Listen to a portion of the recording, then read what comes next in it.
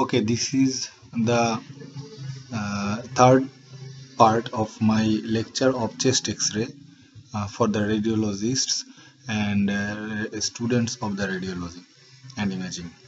Here you see the blue arrows the rotating blue arrows. They are showing the hilum on both sides. In this image you can see the left hilum appears to be a bit higher than the left hilum than the right hilum so we have to keep in mind the left hilum is a bit higher than the right hilum which is a normal status. So if we find any kind of elevation of the hilums then we can consider volume loss due to any kind of pathology. Another point is both hilums have to have same density because they have they have got the same number of vessels and so the density will be same in x-ray. If there is any variation of the density on any side then we have to consider that there may be any hilar mass or lymph node or any kind of abnormality and another one is hilar angle. The hilar angle is the angle formed by main pulmonary vessels that goes upwards and downwards. The angle between the vessels that goes upwards and downwards between these uh, main pulmonary vessels uh, the angle formed is called hilar angle. This is also pathological in if the angle is widened and the next uh, slide shows the hilar structures in lateral lateral view. Here you see the pulmonary trunk the blue arrow on the image the pulmonary trunk this is very wide or the caliber is larger you can say and then the right upper lobe bronchus then the left upper lobe bronchus as this is the lateral view so all both bronchus from both sides will be visualized here. And the next one is left pulmonary artery. And the final one the largest one is the aortic arch lying above all. These are all the hilar structures uh, located centrally in lateral chest x-ray lateral view. In this image we can see the diameter of the main pulmonary vessels. This is also very important because in case of pulmonary hypertension long-term pulmonary hypertension the diameter of the main pulmonary vessel is increased. And we have to measure this diameter just 1 centimeter distal to the edge of the hilar angle. And if the diameter is more than 16 millimeter in case of male and 15 millimeter in case of female then we have to consider that the uh, patient has got pulmonary hypertension. If it is if the diameter is more than this normal measurement. And end on vessel sometimes may be visualized as a rounded lesion mimicking a rounded lesion which is not actually which is not actually a pulmonary. And the, uh, this image shows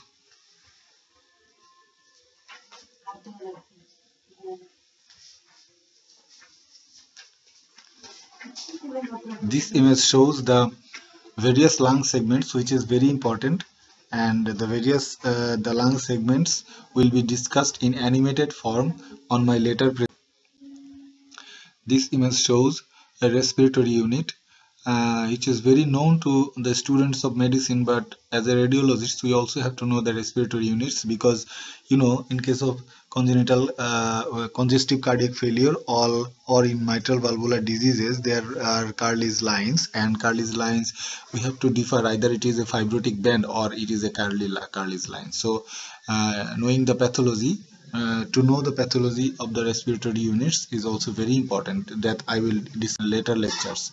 And this is basically the common lymph nodes uh, if the lymph nodes become enlarged we will get paratracheal widening as well as hilar prominence uh, on any side. You see the uh, general lymph nodes usually lying here are the paratracheal nodes, tracheobronchial nodes, carinal nodes and the broncho and this image shows the silhouette sign. silhouette sign is very important, very very important because uh, without doing CT scan, without giving higher X-ray exposure to the patient, we can uh, uh, we can diagnose the uh, sign. Uh, we can we can say that the mass is originated from the lung or the mass is originated uh, from the hilum or even the mass is originated from which segment of the lung. This is very uh, interesting. But what is a silhouette sign? If if there is a sign, uh, lesion adjacent to the heart and if the heart border can be seen through the lesion, then we can say that the silhouette sign is present but not positive. Okay, but if you can see, you cannot see the heart border. If you cannot see the heart border by the lesion, then we will say that silhouette sign is present and if the cardiac border is seen through the lesion we will say the cardiac silhouette is present. Cardiac silhouette means the margin of the heart but silhouette sign means obscuration of the margin of the heart. So this arrow is showing that the heart border is clearly seen through the lesion but in the in this image the heart border the right heart border is not clearly seen. In this image the heart border is clearly seen through the image and another point is silhouette sign in signifies uh, we can save uh, the uh, the specific location of the lesion from the uh, silhouette sign sign technique. If this area indicated with a blue arrow is not well visualized then we can say that the lesion is from the anterior segment of the right upper lobe. If we cannot see this area we can say that the lesion is from the right middle lobe. If we cannot see this area clearly adjacent to the aortic knuckle then we can say the lesion is from the apicoposterior segment of the left upper lobe. If we cannot see this area, we can say that the lingular segment has got some lesion or consolidation. And if we cannot see any of these areas on either side, then we can say that the basal segment on, on either side or both sides are affected. So you see the silhouette sign is very important and vertebral translucency is another important thing where you have to consider that either the X-ray is optimally exposed or not. In case of vertebral translucency sign, we can detect that normally the lower vertebral bodies, dorsal vertebral bodies should be clearly visualized in a lateral X-ray of the chest uh, and it will be gradually abolished or gradually vanished when we will go upwards. But if the vertebral translucency becomes obliterated before this normal pattern then we will say that there may be any type of and the last one is companion shadow.